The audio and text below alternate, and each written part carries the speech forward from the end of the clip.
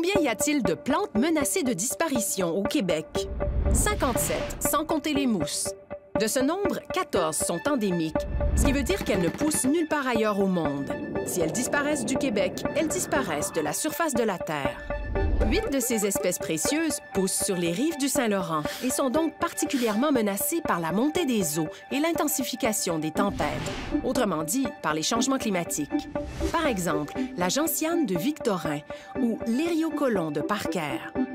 Les zones où il y a le plus de plantes endémiques menacées sont l'estuaire d'eau douce, où l'effet des marées se fait sentir, les rives du Bas-Saint-Laurent et de la Gaspésie, sur les affleurements rocheux, les îles Mingan et la région de Blanc-Sablon.